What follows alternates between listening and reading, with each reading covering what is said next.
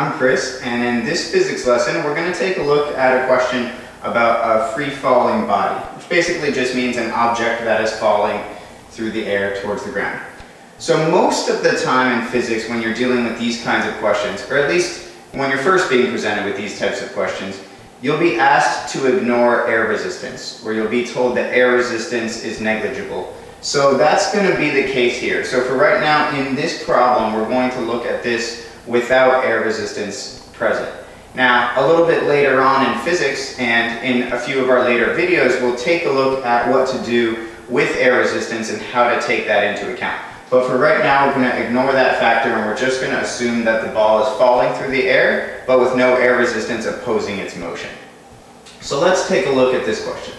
If a 6 kilogram ball is dropped from a height of 19.6 meters, how long will it take to reach the ground? So with any physics problem, the first step that we want to take is to write down what values we know. So from this problem, we know that the mass is 6 kilograms. We know that the height that it's falling, its change in height, or delta y, will be 19.6 meters. Now it looks like we don't know much else, but there are actually a few things that we do know because of the way that the question describes the situation with the ball and because of some standard constants that we hopefully know um, in dealing with these kinds of questions. So first of all, acceleration.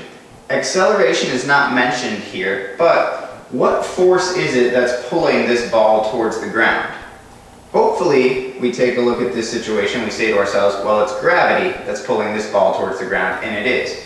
So the acceleration due to gravity is going to be our value of 9.8 meters per second squared.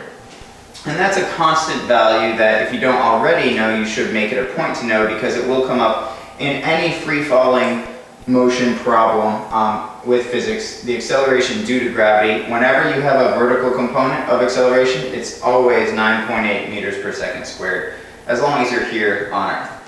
And then there's one other value that we know from this problem that isn't explained explicitly in the problem, but it is something that we can pull from the information given.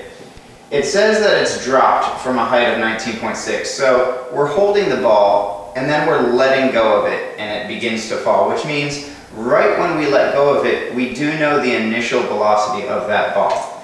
Just before the ball begins to fall, it starts out with an initial velocity of zero meters per second. And then they're asking how long will it take to reach the ground, so they're asking about time. And that's what we want to solve for on this. Now if we know some of our velocity, position, time, acceleration equations, I like to refer to those as the big three. If we know those big three equations, then we should be in good shape to answer something like this, and it's just a matter at this point of making sure we're able to pick out the right equation. One thing I will point out, and you will see this depending on the level of difficulty of the physics problems that you're covering, or even the level of difficulty of your class. Here we're given the mass of 6 kilograms, and let's see if we can take a look at what the equation is that would allow us to solve for time, given all of these values as knowns. So, if we take a look over our velocity-related questions, hopefully we're honing in on this one which is that delta y is equal to v initial, your initial velocity times time, plus 1 half acceleration times time squared. Now the reason that we want to use this equation is because the nice thing about having an initial velocity of zero is that it cancels out that term from our equation. So this equation actually simplifies a little bit, and as we plug in our values, delta y is 19.6 1 half times 9.8 times t squared.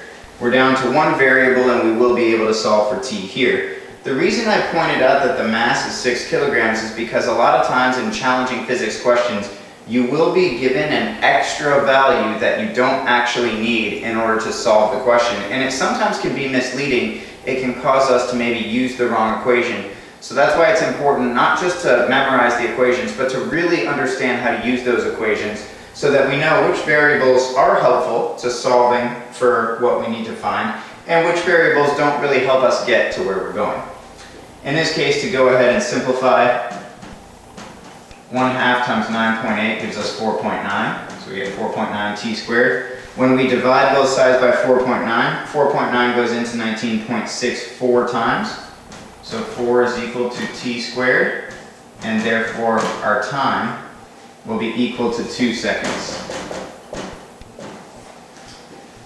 So for a ball that is 19.6 meters off the ground, if we let go of it and let it fall to the ground, then the amount of time that it will take that ball to reach the ground is 2 seconds.